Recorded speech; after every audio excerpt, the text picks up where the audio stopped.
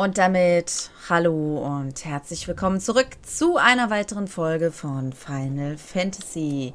Ja, in der letzten Folge sind wir hier hingelaufen zum Lehrmeister der Arena und haben schon die ersten drei Runden, waren es glaube ich, gemacht. Es sollen noch einige Runden auf uns zukommen. Ich denke mal, ich... Achso, das war die falsche Taste. Ich vermute mal, bis wir alles voll haben. Ich Idiot habe jetzt gar nicht drauf geachtet, was er mir jetzt als letztes eigentlich gegeben hatte. War das nicht ein Hut? Nee, oder?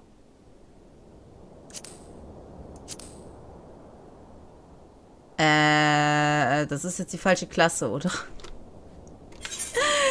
Moment, ich muss mich mal eben hier wieder Zack, ich muss jetzt erstmal wieder zurückgehen. Was ist denn das jetzt für ein Hut gewesen? Nee, alle Klassen. Wieso kann ich da meine Klamotten nicht behalten? Das verstehe ich nicht. Den Ring hier, genau, den hat er mir beim letzten Mal gegeben. Den wollten wir nämlich kurz anlegen, aber das habe ich dann vergessen. So, jetzt reden wir nochmal mit dem Lehrmeister. Beziehungsweise der sagt immer das Gleiche. Ähm, Angriffen ausweichen. Schon wieder?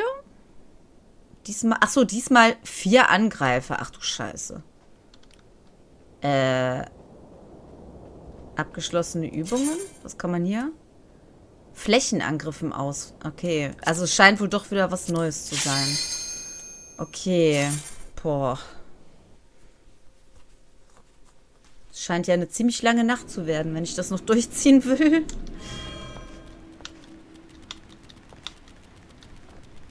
Okay. Erklär du mal. Erinnerst du dich, wie du gelernt hast, Angriffen auszuweichen? Ja, das habe ich ja schon 15 Stufen lang gemacht.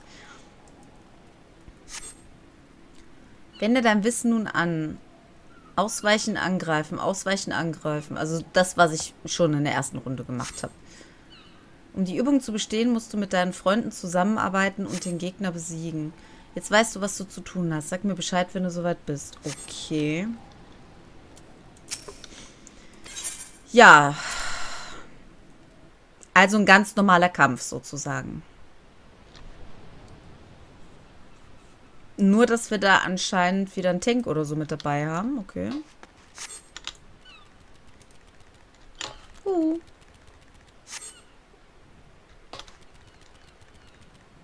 Hallo. Der jetzt, oder was? Oh, das war laufen. Das war jetzt eigentlich nicht so geplant.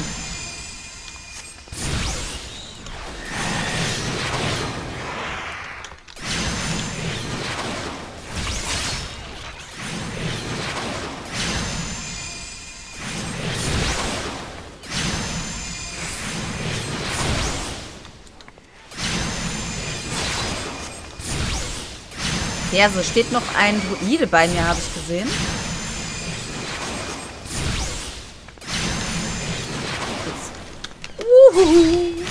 Sollen wir den auch angreifen, oder wie? Nee, wir sollen aber weiter den angreifen, oder? Wenn ich das richtig verstanden habe.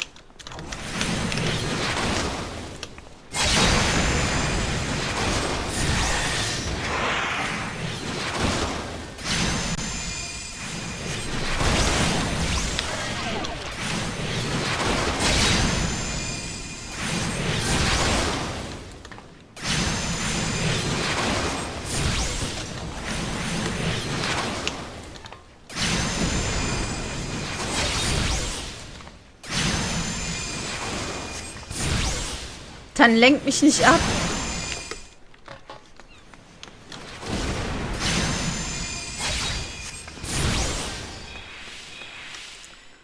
Oh. Okay. Naja, viel Platz hatte ich jetzt hier nicht, aber es ging noch. Wobei ich zugeben muss, dass der Angriff schon... Also gerade diese großen Kreise, die sind immer abartig, finde ich. Weil ich da nicht schnell genug rauskomme, denke ich immer. So, bedenke, wenn du Angriffe nicht ausweichst und schnell und schnell zu Boden gehst, kannst du deiner Gruppe nicht zum Sieg verhelfen. Ach nee. Deswegen ist es so wichtig, auszuweichen. Ausweichen und angreifen. Ausweichen und angreifen. Das ist der Weg zum Sieg. Du hast dir eine Belohnung verdient. Vergiss nicht, was du heute gelernt hast. Oh, schön. Und die sind alle so viel besser, die Sachen. Schön, schön, schön. Einmal die Hosen, bitte. Zack. Wie sehe ich denn eigentlich aus? Na, man kann die Hosen nicht wirklich sehen. Okay. Na gut. Wir gehen in die nächste Runde. Ja, Entschuldigung, bla bla. Feindliche Verstärkung aufhalten. Oh Gott. Äh, okay. Das hört sich jetzt irgendwie schwierig an.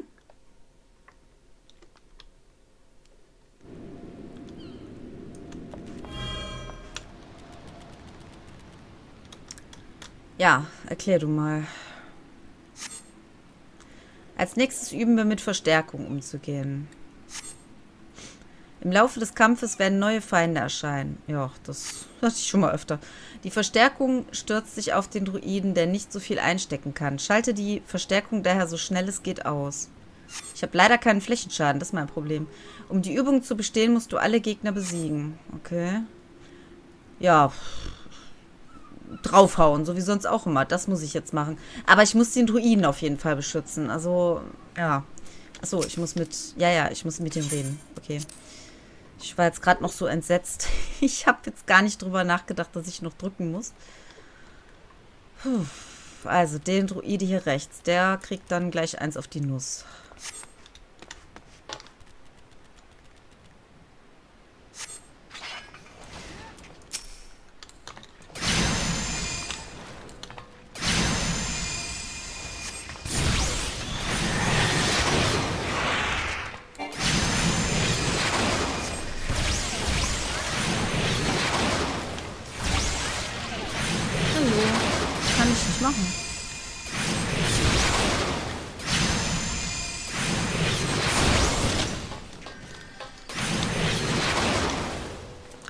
Mal stehen.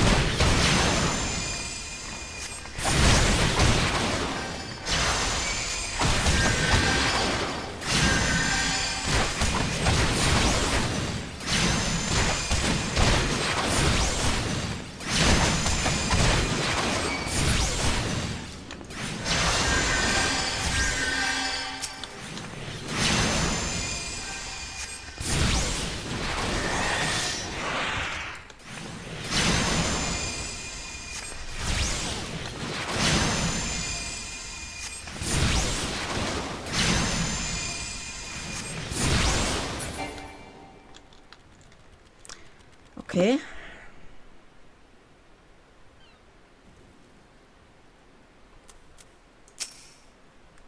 Gut gekämpft. Vergiss im Kampf nie auf Verstärkung zu achten. Wir Angreifer müssen den Heiler von neu auftauchenden Feinden schützen. Ohne ihn hat die Gruppe keine Chance. Ja, das ist mir schon klar, aber das war ja nur ein Druide. Also, sprich, es war ein DD. Du hast dir eine Belohnung verdient. Vergiss nicht, was du heute gelernt hast. Bla bla. Zack. Gott, wie viele Runden sind das? Hilfe! Und ich habe noch nicht mal die Hälfte gemacht, wenn es jetzt damit geht. Das ist so schrecklich. Mit dem Gelände interagieren. Oh Gott. Okay.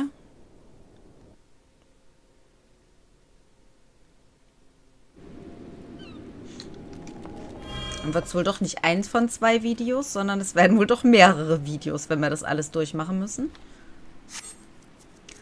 Die nächste Übung beschäftigt sich mit den Mechaniken und Vorrichtungen, die man in Höhlen, was auch immer. Während des Kampfes wird ständig neue Verstärkung durch das Tor kommen. Du musst das Tor schließen, um eine Chance zu haben, okay? Nutze dazu den Hebel neben dem Tor. Ja, dann greifen die mich wahrscheinlich an und das geht nicht. Um die Übung zu bestehen, musst du alle Gegner besiegen. Ja, Okay. Hebel neben dem Tor, um das wieder zu schließen und dann muss ich die besiegen. Ja, können wir gerne versuchen.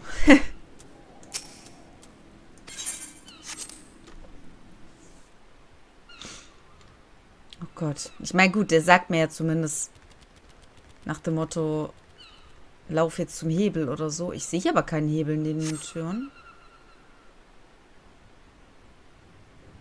Da meint der, nee.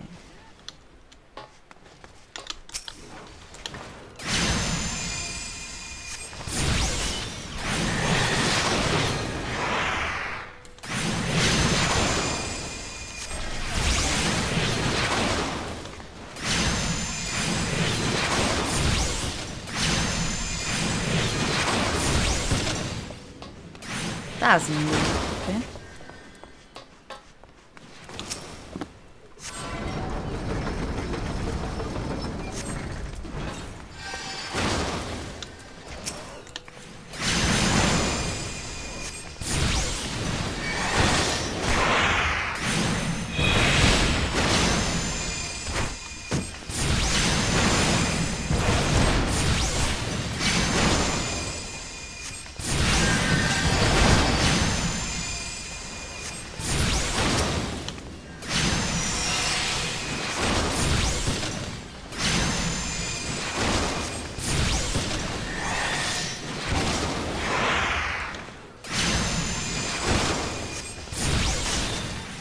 Okay, also scheinbar kommt nur einmal Verstärkung durch das Tor.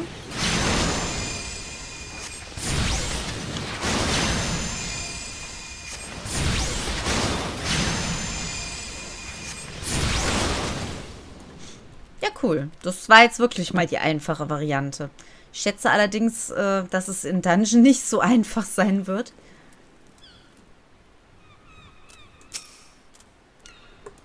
So, der Gegner hatte für einen Moment die Initiative, aber du hast deinen kühlen Kopf behalten und den Kampf herumgedreht.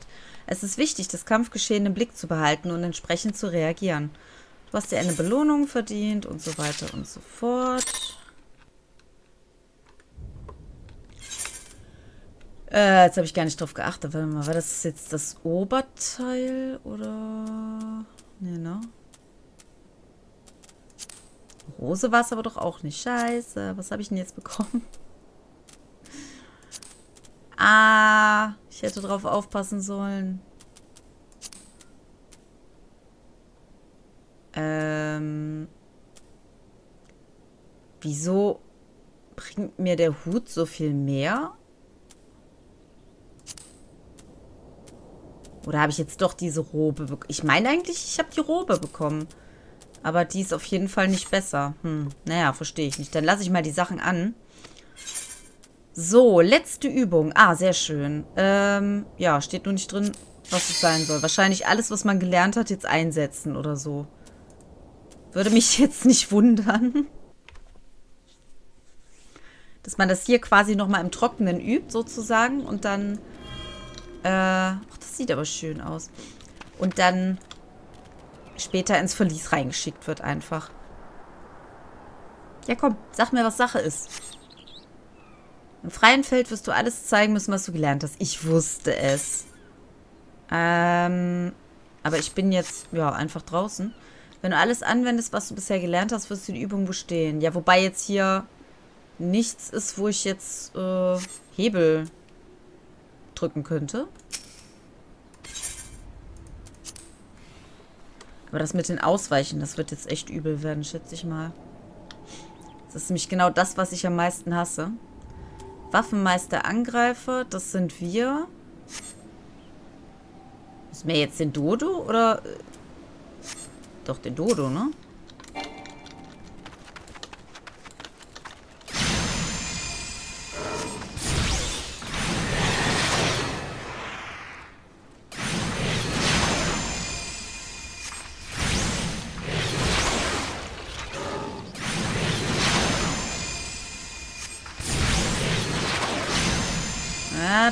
Dachte ich mir jetzt schon. Wo kommen die Feinde her? Da.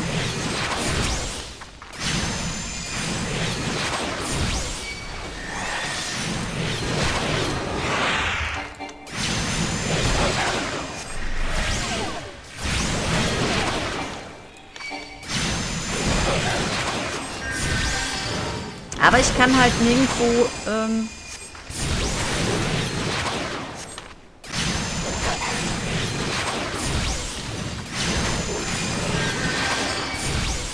komm schon, komm schon. Okay, er geht auf mich. Sehr schön.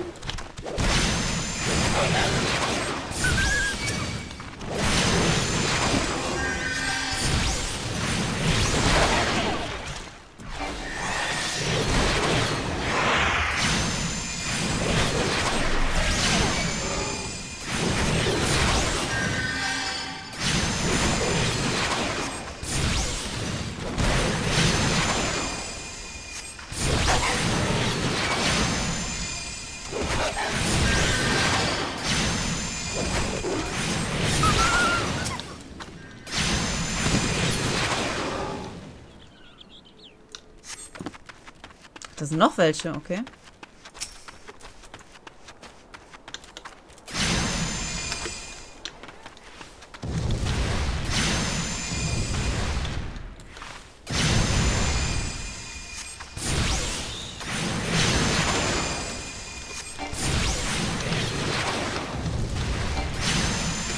Nein! Oh, spring raus, Mann.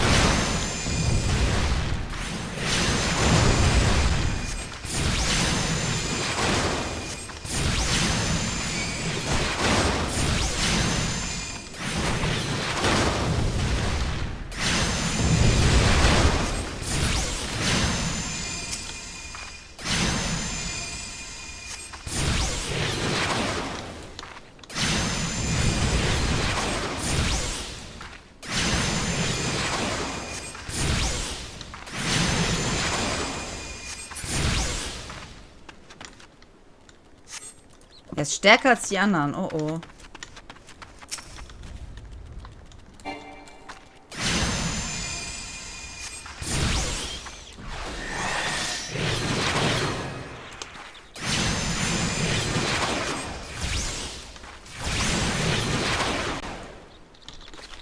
Och ja! Spring bloß nicht weg, ehrlich.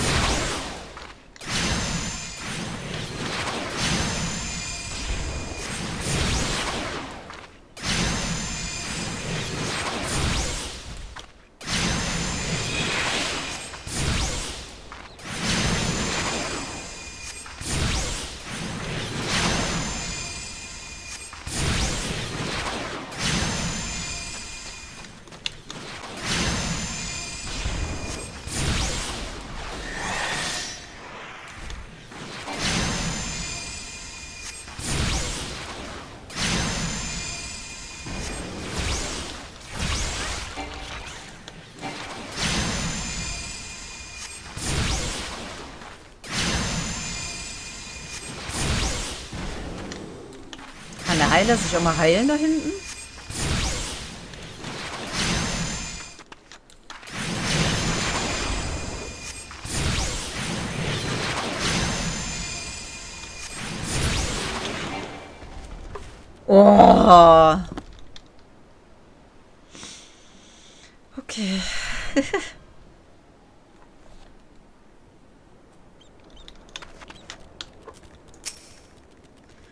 Hut ab, du wirst wirklich nicht auf den Kopf gefallen. Mit diesem Sieg hättest du deine letzte Übung bestanden. Hier, nimm diese Belohnung und trage sie mit Stolz. Ah, okay, ein Ring, der aber nicht besser ist, okay?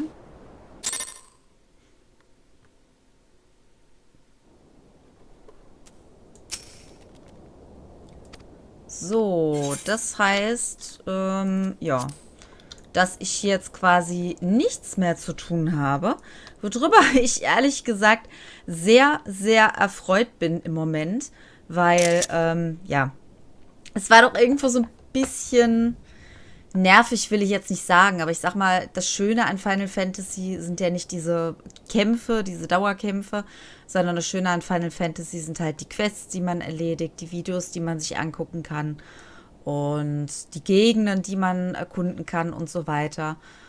Und ja, wenn man dann hier dauerhaft über zwei Folgen, ich glaube, es waren sogar schon fast drei Folgen, ich bin mir gar nicht sicher, ähm, nur mit diesen Rumgeballer und Gegner töten und so beschäftigt ist, dann macht es dann auch irgendwann keinen Spaß mehr. Klar, hin und wieder mal so ein Dungeon laufen oder so ist kein Thema. Das äh, ist dann natürlich auch was anderes, wenn man das Ganze mit der Gilde macht beispielsweise. Aber bin ich ganz ehrlich, äh, das war jetzt auch nicht so meins. Ich meine, mal reinschnuppern ist in Ordnung. Ähm, richtige Läufe machen in richtigen Verliesen ist bestimmt auch wieder was anderes, weil ich denke, dass da wohl auch ne, so eine Art ja, kleine Quest mit dabei ist, wie es halt bei T so ist. Man nimmt am Anfang des Verlieses halt die Quest an und ähm, hat dann auch so Zwischensequenzen und so. Ich denke mal, so ähnlich wird das hier wahrscheinlich dann auch sein. Bin ich auch ehrlich gesagt schon ein bisschen gespannt drauf. Ich befürchte allerdings, dass das jetzt meine nächste Aufgabe ist.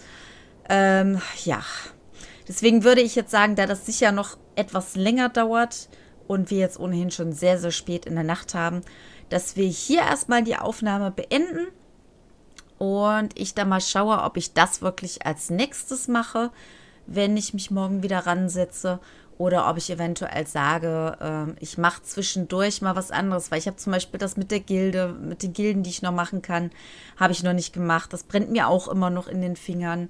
Und ich habe das noch nicht gemacht mit, ähm, mit den Freibriefen, das wollte ich euch noch zeigen. Das denke ich mal, werde ich als nächstes machen. Und ja, hier ist eigentlich ein ganz guter Cut, weil das haben wir jetzt abhaken können. Das haben wir jetzt hinter uns gebracht mit der Arena. Und dann können wir, denke ich mal, mit der Hauptgeschichte weiter fortfahren. Allerdings nicht im nächsten Video. Da möchte ich dann schon gerne, ja, ich denke mal mit den Freibriefen erstmal was zu erklären. Die habe ich ja schon mit der Druidin soweit begonnen, dass ich mir das mal angucken konnte und so. Und ist auf jeden Fall auch noch was Interessantes, weil wenn ich das dann nämlich gemacht habe, kann ich die Sachen dazu, also die Aufgaben, die es dazu gibt, kann ich dann nämlich offline weiterführen. Und das ist letztendlich ja, ja mein Ziel bei der ganzen Sache. Ich bedanke mich auf jeden Fall erstmal fürs Zuschauen und hoffe, dass wir uns dann im nächsten Video wiedersehen. Bis dann. Ciao.